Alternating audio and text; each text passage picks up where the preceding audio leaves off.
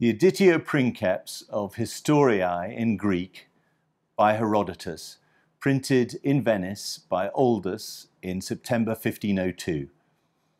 I'm Adam Douglas, Senior Specialist in Books at Peter Harrington, and I'd like to show you this copy of the book. If we uh, look at the title page here, we see the famous Aldine device, the anchor with the dolphin entwined around it, and uh, He's also printed on the title page a few of the extra commentaries that are provided with the text.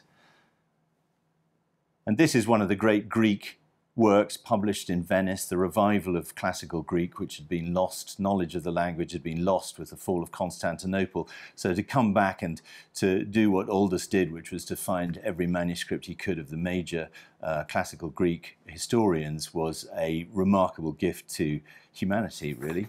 Uh, and he set out three books, a, a big project to, to, publish three Greek folios. Uh, they're individually published, several months apart. This is the second of the series, and you see here the beauty of the Greek type that he had cut. Um, it's uh, so clear that it's able to pack in um, quite small characters and yet uh, easily legible. Um, this copy has been in uh, the libraries of a couple of later collectors. Um, the book plates are there at the front on the front paste down, and we see it's in a later binding. It's a 19th century collector's binding. I hope you'll be able to see here, just it's in blind, so it's a little difficult to see in the camera, but the Aldine device is repeated there, stamped in blind on the front cover. Obviously, somebody's uh, wonderful collection. It'd be a great collection to have all the Aldine publications.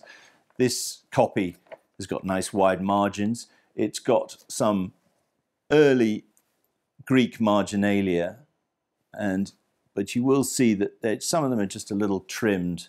So this, uh, as we know, it's not its first binding. The binder's knife will have just taken off a little edge as, as um, it went into its second binding. But most of them are clear and legible. It's rather nice to see the book being used by a scholar making notes like this.